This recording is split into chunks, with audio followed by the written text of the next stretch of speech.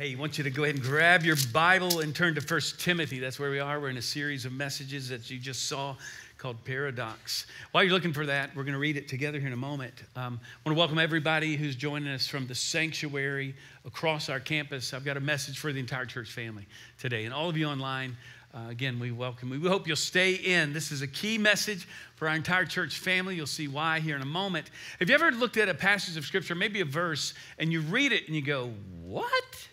Like a passage that, like, what is going on here? We've got one today, okay? Multiple verses that are really difficult to grasp, um, and we're gonna dive deep into it. Now, before I get there, I'm gonna challenge our dads along the way, um, and I wanna do this uh, kind of my, I got a two word message for all of our dads, and I'll get there in a moment. I know we got a lot of dads here who, uh, uh, former um, athletes, some of you still think you're athletes, you know, you're, you're, you're still living the dream, uh, you're a weekend warrior. But we have, we have dads who've, you know, played college football and, you know, even professional sports and those kinds of things. So um, I, I, I was not the great athlete. Basketball, soccer was, was my sport. But a lot of you don't know that, um, I've shared this before, I'm actually a pretty outstanding bowler. I know that's kind of random. But, um, and I don't mind telling you, I don't want to brag, but I'm actually, I'm, I'm, I'm a great bowler. I mean, like I'm an amazing bowler. Um, many of you know that bowling from the foul line to the head pin is 60 feet. Now, that's a long way for that kind of accuracy. So, I bowl from six feet. Um, because, and here's why. Are you kidding me? 60 feet? I'm horrible from 60 feet. Six feet, I am deadly. Okay? Like, I've had many, many times, just perfect game, 300. I'm amazing at 60 feet. Here's why.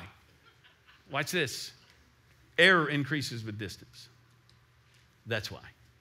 Error increases with distance. My challenge for dads two word sermon every Father's Day that lands here somehow, somewhere. And I'm giving it up front here. Be there. Be there. And I know that's challenging as a father. But God has called us to be present, to stay in, to be there. And this is also an important uh, principle in Scripture. You've got to come in close. You've got, you, we're a long way from Ephesus, where Timothy is challenged to, to lead these people with all kinds of false teaching going on. We're a long way from the first century. We're a long way from where Paul is writing these words to first, in First Timothy. So today we're going to get in close, okay? We're going to, we're going to come in close and we're going to get into God's word and say, Lord, what are you saying to us that would apply to our our culture today, okay, to our context. So the passage is out of 1 Timothy chapter 2. And what I'm going to do now that you're all comfy, I'm going to ask us all, as we've done throughout the summer, I want you to stand right where you are in honor of God's word. This is His holy word for us today. I may say a lot of things. I'm praying, Lord, let me say what you would alone want me to say, not say anything you don't want me to say. But this is His word for us today. And, and let me just ask you first reading, simple reading, literal reading of the text. If you don't come across a couple of verses here, what? Okay, verse 8, we left off last week. I desire then that in every place the men should pray, lifting holy hands without anger or quarreling. Okay? That was last week. We said, let's let men lead out in prayer. How's that going for us, men? Men are to lead out in the church in prayer. He's talking about the gathering, by the way, here specifically, the gathering, like us today. Likewise, okay, so men, I got that. Now, likewise, also that women should adorn themselves in respectable apparel.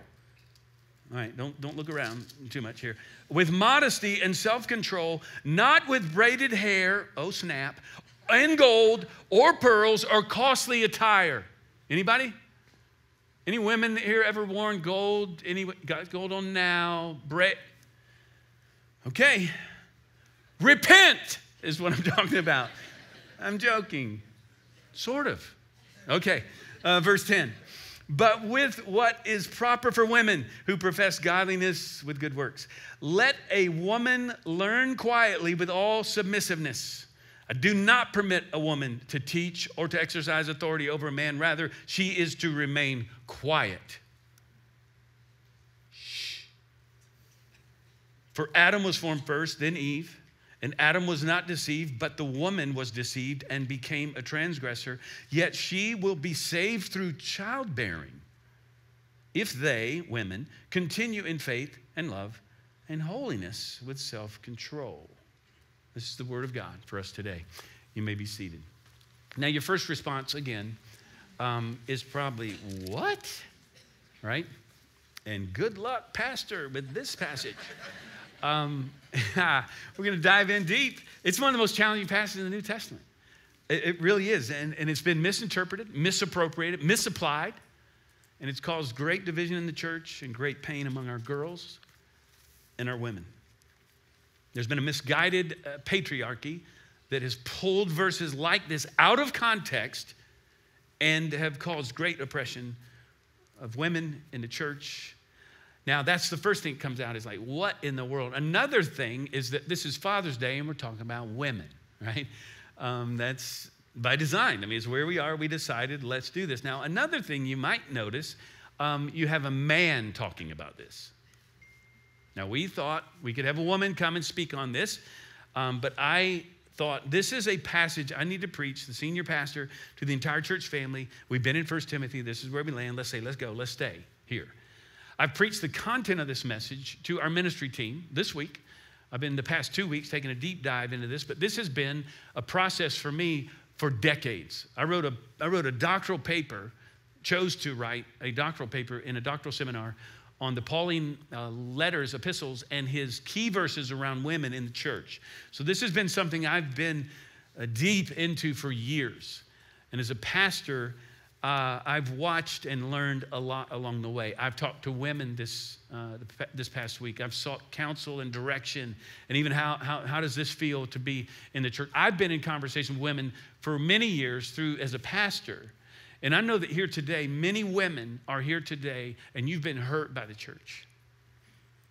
Some of you don't feel that at all. You don't, you're like, I don't know why this is such a big deal, but for some of you, you've been hurt by the church and a sense of oppression that's come upon you, maybe in your faith family of origin, maybe in your own family of origin.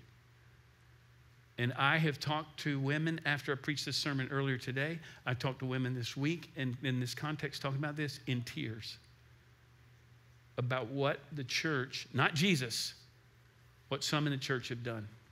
There's been this misguided patriarchy that has done great damage in our churches. And so today, I'm just praying that we come to this um, humbly.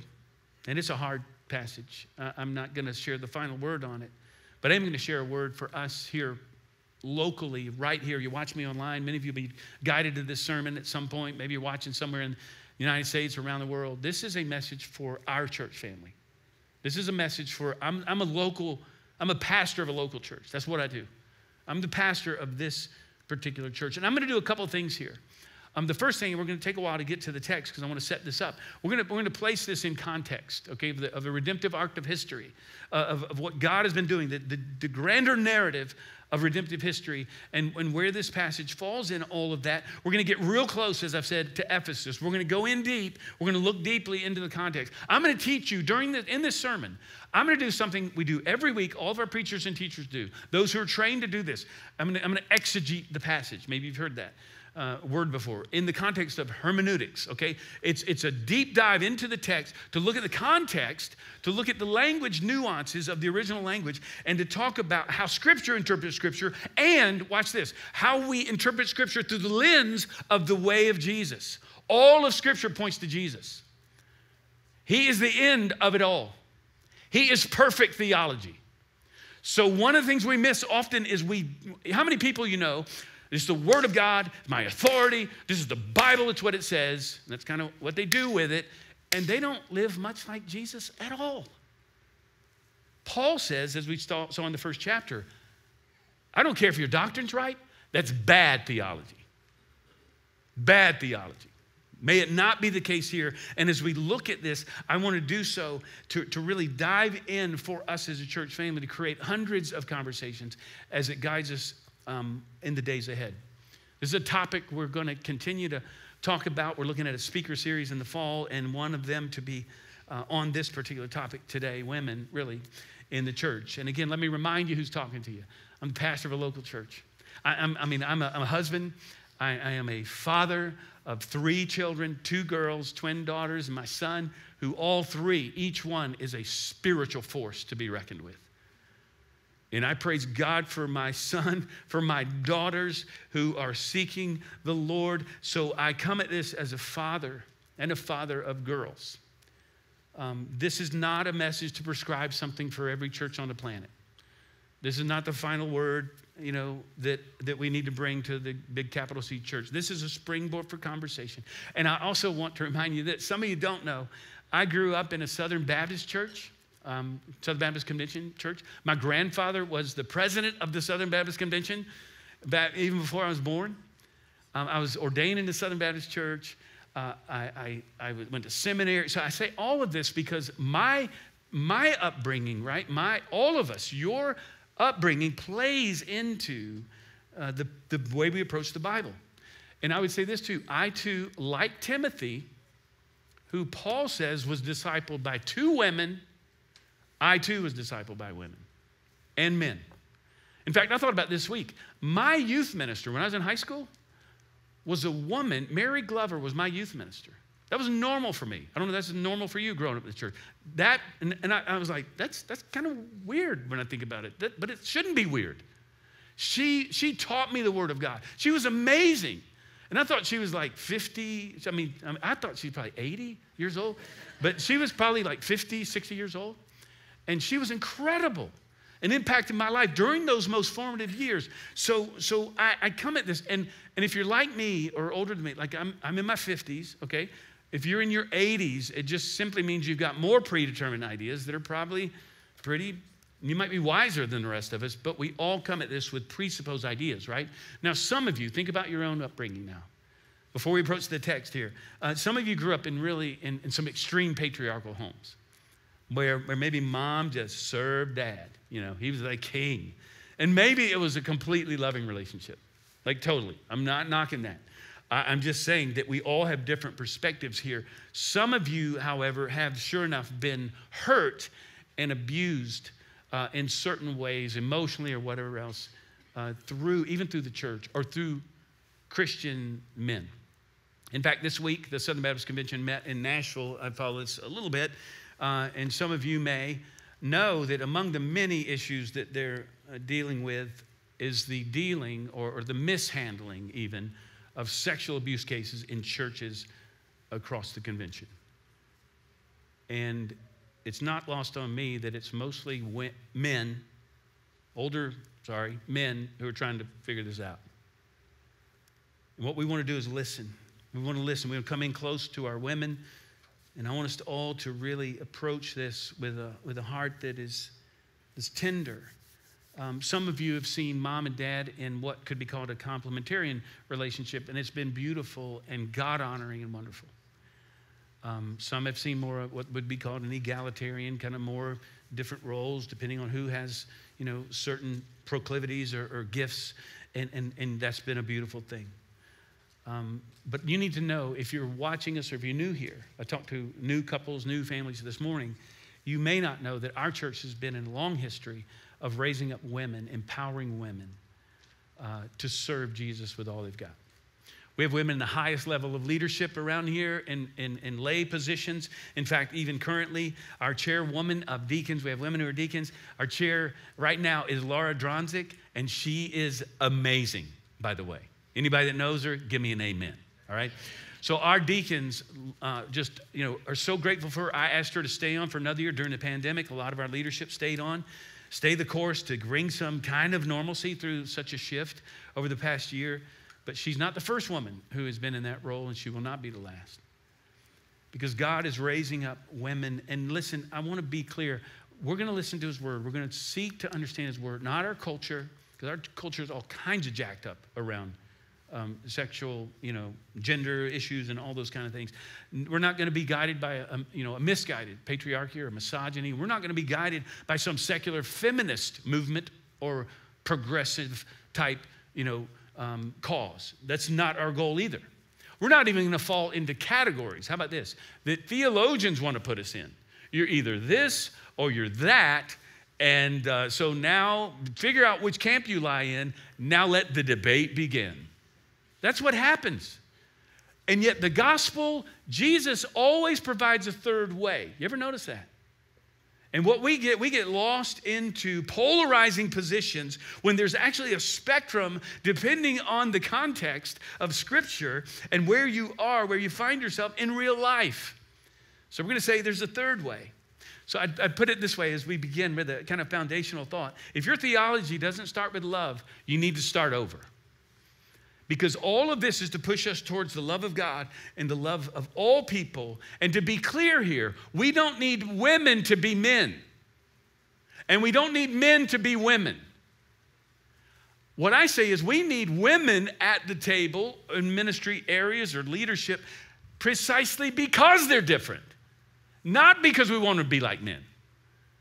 This is the beauty of God's creation. We all bring the image of God to bear men incomplete without women.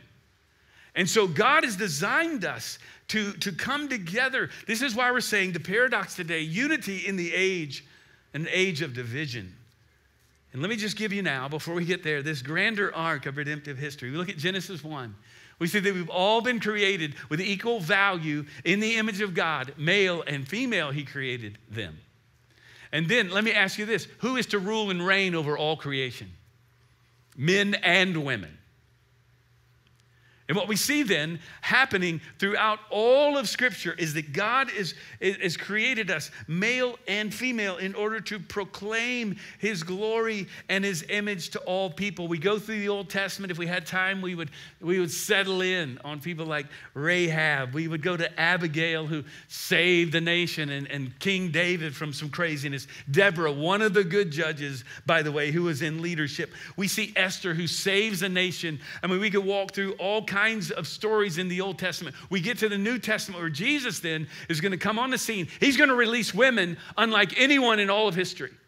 We see Mary at the Mary, the well, the mother of Jesus. Okay, that's not not a small thing. Brings forth the Savior of the world. But we see Mary, one of his first disciples, who is at the tomb. This is not a small thing. She is the first one to see Jesus risen. She's the first person to see the center of the gospel, which is the resurrection of Jesus. And then it's not a supposed gardener, it's not an angel, it's Jesus who says, Go, tell my disciples what's happened. You go. She becomes the first evangelist, the first one to proclaim the gospel to anyone. The gospel message that came into your heart and changed your heart at some point, if you have received Christ, came first from Mary to the disciples to the others. This is not a small thing. Jesus never called women to be silent. He never told women to put on the brakes. He said, go. And so then immediately after the resurrection, you know what happens? We go to, we go to the book of Acts. We walk through the early part of the book of Acts early this year.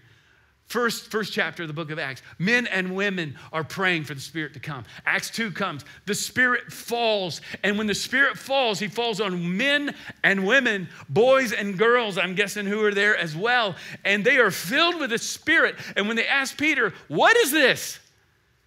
He says, This is that. This is what Joel the prophet said would happen that the Spirit of God would fall when the kingdom comes on earth as it is in heaven through Christ. Then the Spirit, same Spirit, Jesus, would come upon the people. And he says, Here's what's going to happen He's going to fall upon your sons and your daughters, He's going to fall on men and women, on your servants and your maidservants. This is a new thing that God is doing. And he's raising up people now filled with the Spirit to go forth to the whole world to proclaim his glory. Jesus sets the stage, and the church is born, and the kingdom comes, and is coming, and will come. And so then we look into the epistles, and Paul becomes then the primary voice, the primary instructor on how women are to, to act in the church, act in the family, how, where, what are the roles, how does this all play out? He says in Galatians 3:28, in Christ, he says, now. Now there is no Jew, there's no Greek, there's no male, there's no female, there's no slave, there is no free. We're all the same at the foot of the cross. And this doesn't mean there's not, you know, literally, doesn't mean there's not different sexes, right? Different genders. There's male, there's female, but he says we're all the same. There's a lot of opinions about this. I was looking through my research, I came upon a website. It's called The Transformed Wife. It's a popular Christian website for, for women.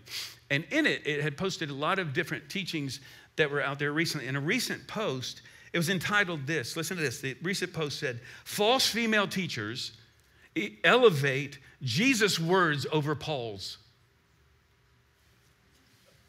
Let that sink in for a minute. Now, a couple things in my mind. I, I, read this and I'm thinking, okay, first of all, if Paul does contradict Jesus, let me ask you, who are you going with? who are you going to go with? Right? And then, second thing, though, real quick, is like, wait, Scripture doesn't contradict Scripture. It's all God's word, right? This is an invitation. Watch this. I told you, this is how you exegete a passage. When you look at something, you go, that doesn't jive with the way of Jesus. That seems to contradict. That's an invitation to go deeper. And almost 100% of the time, it has to do with context. And we're going to see that today. All right? So, lots of teaching, a lot of training here. That's a great principle to follow. And always looking at Scripture through the lens of Jesus because he is perfect theology. And so, look at 1 Timothy. Here we go. 1 Timothy chapter 2. Uh, we, we, were, we, we ended with, with verse 8 last, last week for men. And what I want you to see in this passage, if you're taking notes, uh, a good place to start here, I'll, I'll walk through each. I got three points here. Uh, good works over appearances, we're going to talk about. We're going to talk about gifts over positions, and we're going to talk about growth over progress. Jesus offers a third way. Look at verse 9. Likewise, also that men, no, that women should adorn themselves in respectable apparel. And you, you immediately wonder, wait, is that like, is this Nordstrom? What, how, how is it respectable? Uh, is this is Target legit? Like, yes, let's go. Um, with, with modesty and self control, not with braided hair and, and gold and pearls of costly attire, but with what is proper for women who profess godliness with good works. Now, here he's, he's using uh, language that we would describe, you know, character to describe clothing. Did you catch that? See, the women, eh, there's a principle here. And what's happening in, in, in the in the context, the women of, of Ephesus were using the worship service to display the latest fashion. There's no place for that in the church. There's no place for us to come. Look at costly attire. Again, oh snap. Some of y'all, like, well, okay. And it's okay to wear nice things and to look good. But these women are flaunting their wealth as member before members who had less. And he's again, he's back to, hey, we're all the same here. And, and this is, and look, he's not talking to the top one percentile on the planet, as we see here in North Dallas. What principles can we apply? Women are so pressured to focus on their body, on their looks. Men are too. But to wear the right clothes, to put on the right thing. But in the body of Christ, he says, this is not our focus. Our focus instead, Paul says, I'll tell you what to wear. Adorn yourself with godliness.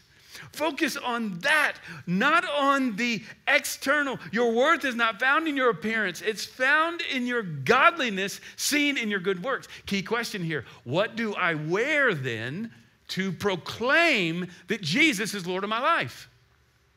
He says, Well, you, you wear good works, you, you, you love and, and you honor the Lord in all things. This is for men and women. So it's, it's about good works over appearances. Secondly, look at this it, it's about gifts over positions.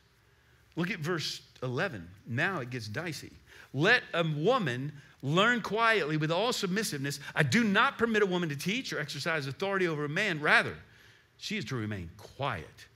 Now, here's the deal if you take one verse and say, braided hair? Nah that's something else going on. And then you come to another verse and go no but this is legit. Like let's take this literally right? Like a lot of you men are like hey jeff are you going to go to ephesians 5 because it says submit to your husband. Happy father's day. Let's go right?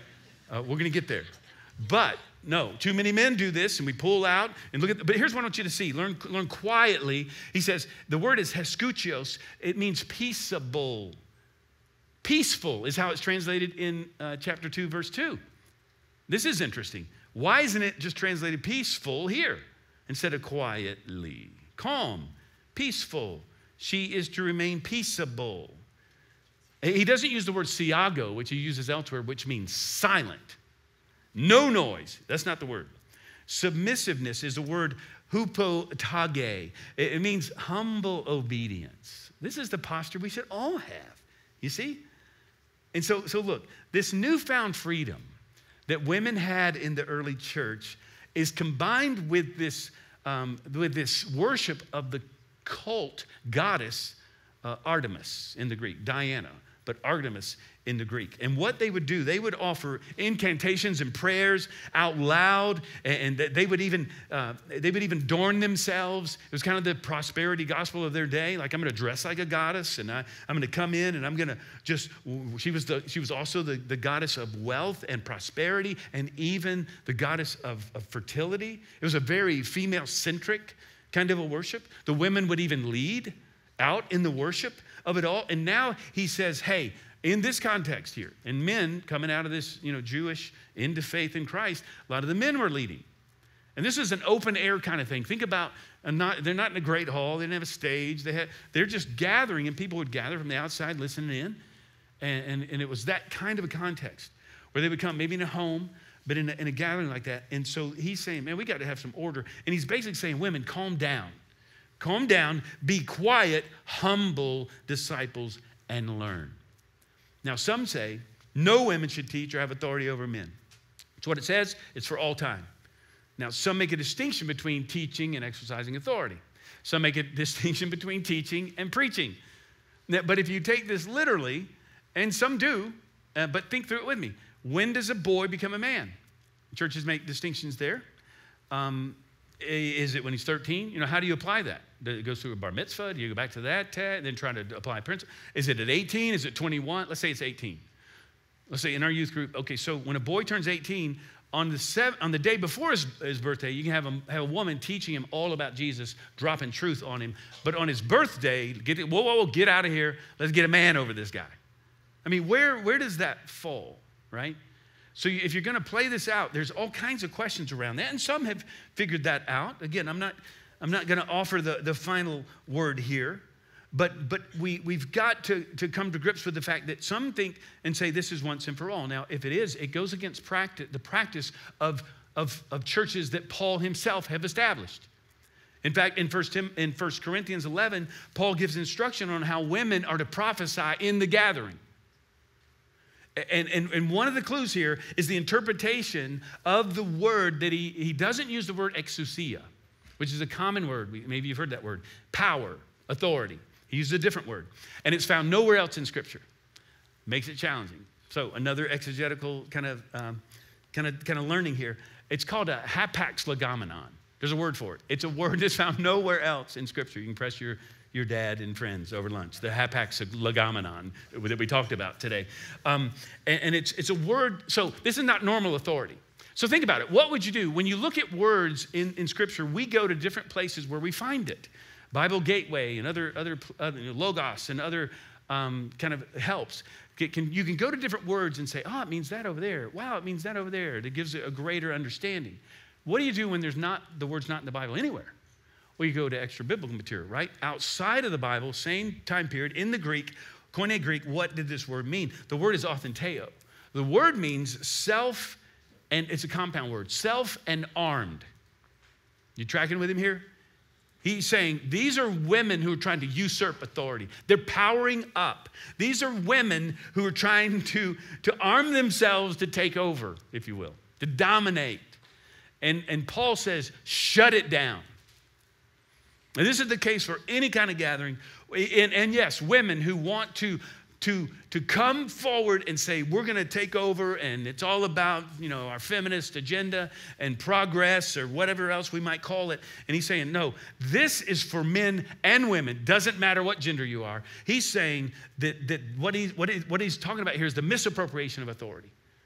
And this can be both men and women. We see the misappropriation of authority among men uh, in, in our day and we see it among women. Now, Paul is talking about the gathering here. He's not talking about marriage, not here. But there are principles to apply. So if we go to Ephesians 5, okay, think about it for just a moment. Ephesians 5, we always look at, I was with a couple this week um, getting married. We're talking about the role of men and women. in Ephesians 5, before you get to the passage that we like to pull from, uh, or the verse, women submit to your husbands. Now, it says that clearly. And it says husbands are to be head of the wife, like Jesus is head of the church. The key is what does he mean by head? Because we've misinterpreted that, misapplied it, misappropriated what it is to be head. Best place to see head is in, is in Philippians 2. Philippians 2, Jesus came from all the way from the very top, all the way down to give his life for us on the cross. Husbands, that's what you do. Now, is that a powering up? Doesn't seem like it to me. Not in this kingdom. Seems like the father is the first to serve the family. And then, if the wife and the husband could get into this, this kind of uh, contest, who's going to outserve each other, you have a happy marriage. And happy kids, by the way. And in Ephesians 5, verse 19, he says, I want everybody to be filled with the Spirit first. Filled with the Spirit. Now, let's go. Verse 21, he says, I want you to submit to one another, mutual submission in marriage out of reverence for Christ. Mutual submission. He goes on then to talk about how we are to submit to one another, what that looks like. He says, The husband is the head of the, the wife, just as Christ is the head of the church. Now, what does this mean? Again, the head is the one, not who's you know the authoritarian leader. He's the one who's serving and giving his life. In fact, in 1 Corinthians 7, Paul says, he says, okay, women, you submit to your husband, submit your body to your husband because it doesn't belong to you. Then he says, husbands, submit your body to your wife because it doesn't belong to you. Mutual submission in the context of marriage, Jesus offers a third way. We're all about levels, power, and authority. And God says, no, no, no, not in my kingdom. Let's all be like Jesus. And this is how this plays out. So we got to continue on here. Let's go to verse 13. It's going to get dicier. Verse 13. For Adam, are y'all with me? You still with me? Let's go. For Adam was formed first, then Eve. And Adam was not deceived, but the woman was deceived and became a transgressor.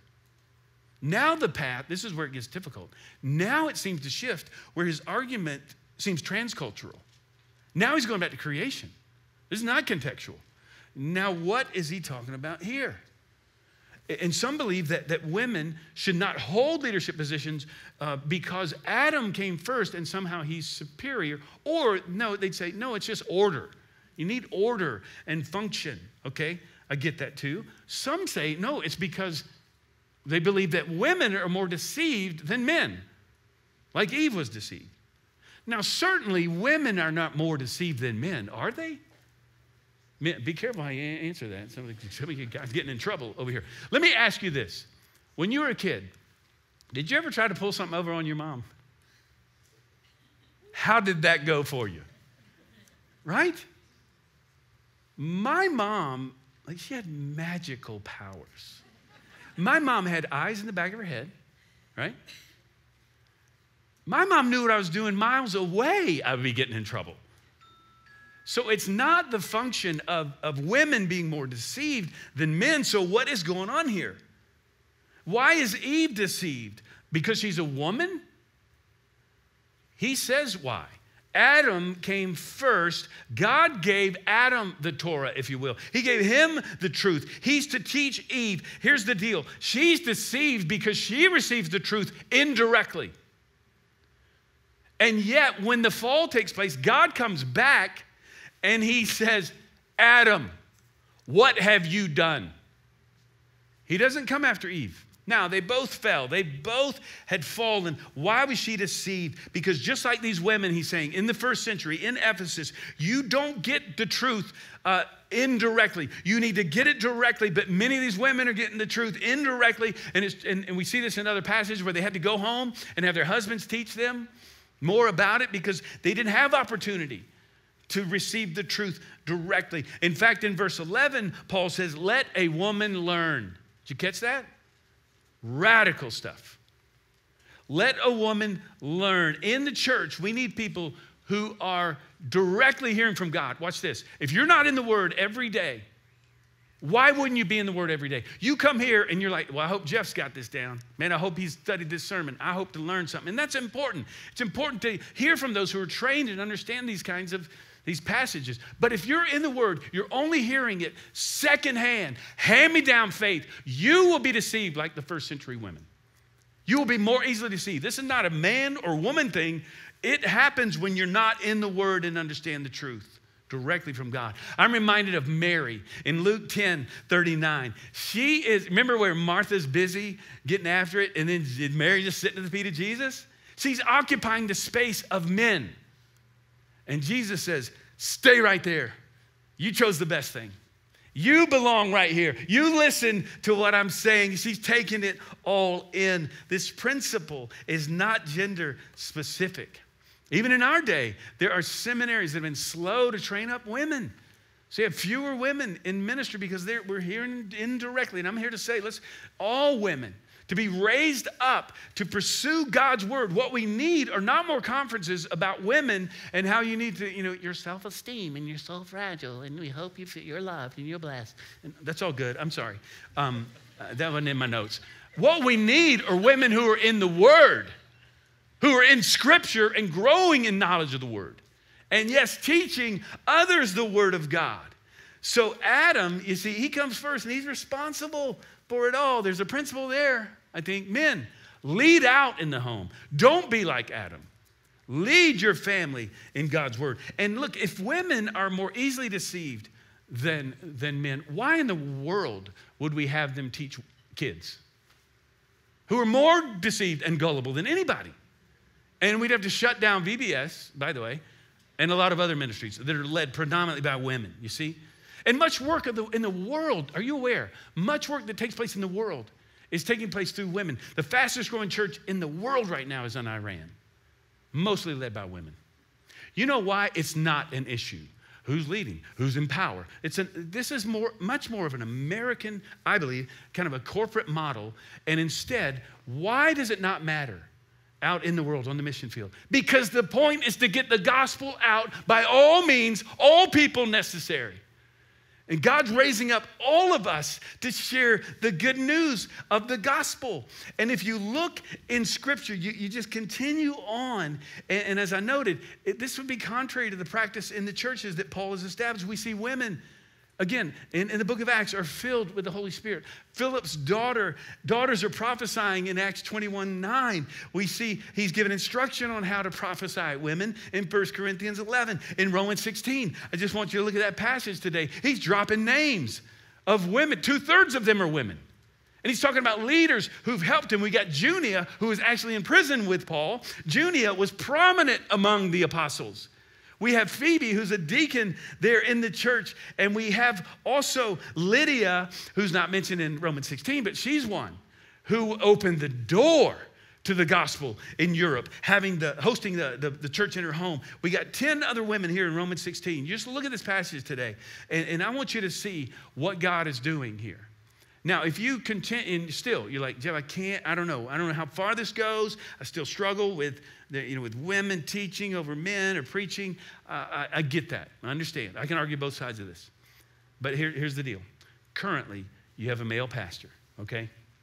And anyone who preaches, teaches in our church is going to be assigned by me and with others, vetted by me, if you will. So this is our practice here at least. We see good works over appearances, we see gifts over positions. And then finally, we see growth over progress. And here's what I mean the progress that will come is when all of us are growing to be like Jesus and we're pushing all of our girls, all of our women towards Him to proclaim the gospel. The way we shatter glass ceilings is not primarily through protest, rallying the troops. Instead, it happens when our girls and our women are raised up to be like Christ and released in all of their gifting, listening to Him listening to the Spirit of God fall upon them. Now, I'm going to land on this last verse, and it gets even crazier. Look at verse 15. Yet shall she shall be saved through childbearing. What? If they continue, women continue in faith, love, and holiness with self control. Now, again, scripture interprets scripture. No one is saved through childbearing. What is he saying here? The word is sozo. She will be saved. Um, here's what's happening I think it's back to the, to the cult of Artemis. I mean, Artemis. He, uh, he may be referencing the, the impact of, of, the goddess Artemis, Again, she was known as the, as the goddess of childbearing. And, and so, social pressure on women was to remain loyal to the goddess or they could die in childbirth. And remember, there was no epidurals, there are no doctors like we have today. And this is such a beautiful message to women, to young women. He's saying, listen, listen, in the Ephesian context, context you don't have to dress like a goddess, you, you don't have to have babies. You, you, you just commit your life to the grace of Jesus Christ, evidenced by your good works and your love and faithfulness to Him. This is such a powerful message.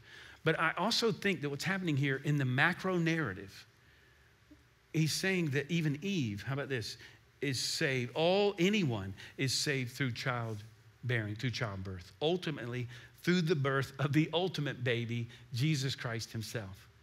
I think what Paul's doing here, he's offering a kind of idiom for femininity and womanhood. And he's saying to all women everywhere, and he's saying it to all of us here in this place, he's saying, listen, you can be saved as a woman. You don't have to be a man. You don't have to be masculine in this context. You don't have to worship Artemis. God accepts women as they are. This is why we're saying growth over progress. Our growth is to continue in faith, our focus is growth. And so I'd say it like this Our focus is not breaking glass ceilings, it's not feminism, a sexual revolution. Our focus is growing in faith in what Christ has already done and then allowing His Spirit to release us. The focus is on growth my growth, your growth, the growth of all of us here, the growth of the kingdom. Now, should we try to break glass ceilings? Of course we should. Should women uh, you know, be treated fairly regarding wages and positions and giftings and other matters? Of course that should happen as we advance the kingdom.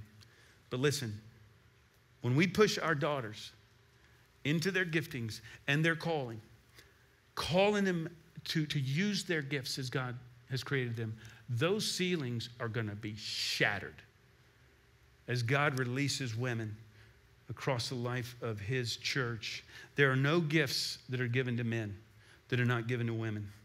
There are no certain things that women can't do because they're women or they're inferior. You can't have real growth or real progress without real growth. And real growth comes as we all commit ourselves fully to Him. So, I'll close with this. How long? How long will we continue to raise up our girls as little preschoolers to come to know that God loves them?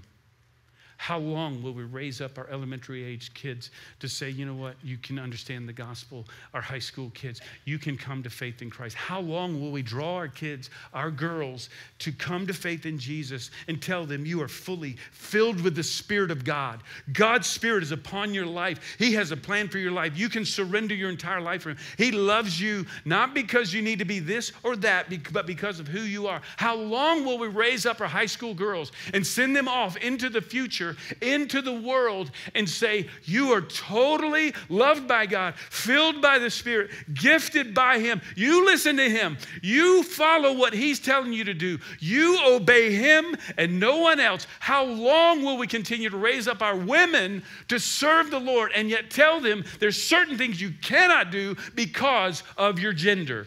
Not here, friends, not in the kingdom of God. Jesus has released us to say it's not about positions, it's not about levels, it's about being obedient to Him and following Him. It is giving our lives over to Him. And I just challenge all of us to do that today male and female, boys and girls. And I want us to close our time in prayer. Would you just do that? Let's just close our, our eyes and, and bow our heads. A lot of teaching today, a lot of content. So important for us. And Lord, I pray that you would, every person listen to me, watching online right here in this room, those in, in the sanctuary, Lord, that you would set us free by the power of your Spirit. And Lord, help us to follow your word, obey you in everything that we do. And we'll, we'll let you be the one to determine where you place us, what you call us to do in the context of your church. And so, Lord, release our girls. Release our women to be all that you've called them to be. And we pray that the gospel will advance and the kingdom will come as a result. We give you our lives. In your name we pray. Amen.